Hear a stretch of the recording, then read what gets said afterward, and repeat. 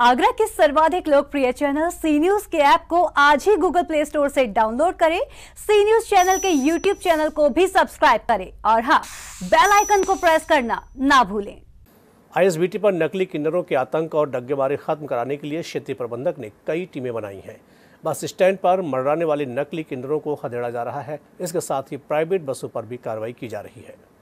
ISBT पर नकली किन्नरों का आतंक मचा हुआ है। आईएसबीटी पर तमाम सारे नकली किन्नर घूमते हुए नज़र आएँगे। नकली किन्नर महिलाओं की ड्रेस में रहते हैं, जो अपने आप को असली दिखाने की कोशिश करते हैं। बस स्टैंड के अंदर भारी नहीं, बल्कि किन्नर पैसे मांगने के लिए बसों के अंदर घुस जाते हैं। यदि यात्री पैसे देने के लिए निकालते हैं, नकली किन्नर झपट्टा मार जाते हैं। झपट्टा मारकर पैसे छीन लेते हैं और भाग जाते हैं। इस तरह के वीडियो वायरल होने पर क्षेत्रीय प्रबंधक मनोज कुमार ने दस्तों का गठन कर दिया है। चेकिंग दस्ता अलग अलग शिफ्ट में नकली किन्नरों के साथ डग्गा मार बसों में धरपकड़ करेगा।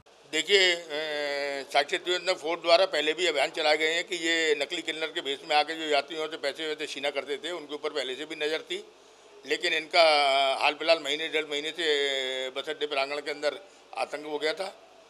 इनके ऊपर रोक लगाने के लिए और डग्गेमारी बसों के ऊपर रोक लगाने के लिए, माननीय क्षेत्रीय प्रबंधक द्वारा कई तरह के दिशा निर्देश दिए गए हैं, जिसके अंदर दो, वर्तमान में दो टीमें गठित करी गई हैं फोर्ट डिपो की, जिसमें एक शिफ्ट में रामविलास जी और दूसरे शिफ्ट में श्री अनिल शर्मा जी अपने दल बल के संग कर्मचारियों के संग और अब जो सिक्योरिटी गार्ड हैं, उनके संग अपना वो जाएँगे और डग्गे मारी गाड़ियों को और फ़िलहाल उनके प्रयासों से, दोनों लोगों के प्रयासों से अब वर्तमान में किन्नर दिखाई नहीं दे रहे हैं और ना ही उनकी अराजकता बस अड्डे पर है।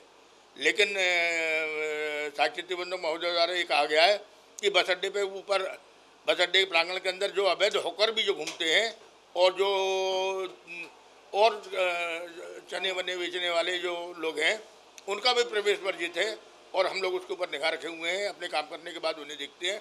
और ऐसा कोई संदिग्ध आदमी जो घूमता है, जिसका यात्री के अलावा जो घूमता है, उसको हम तुरंत बस अड्डे से बाहर कर देते हैं। सलवार सूट पहनकर युवक अपने आप को किन्नर दर्शाने की कोशिश करते हैं। लेकिन ये सभी नकली किन्नर हैं। आईएसबीटी से यात्रियों का सामान और मोबाइल फ़ोन तक चोरी कर लेते हैं। इसके अलावा अनैतिक काम में भी लगे रहते हैं। नकली किन्नर पैसा नहीं देने पर झगड़ा करते हैं। मारपीट तक पर उतारू हो जाते हैं। टीम का गठन कर दिया गया है। लेकिन देखना होगा कि नकली किन्नरों का आतंक कब तक खत्म होता है। नकली किन्नर बस अड्डों से लेकर हाईवे तक पर घूमते दिखाई देते हैं। कई बार कार्रवाई की जा चुकी है, लेकिन नकली किन्नरों की फौज ने आतंक मचा रखा है। Umesh Sharma C news Agra.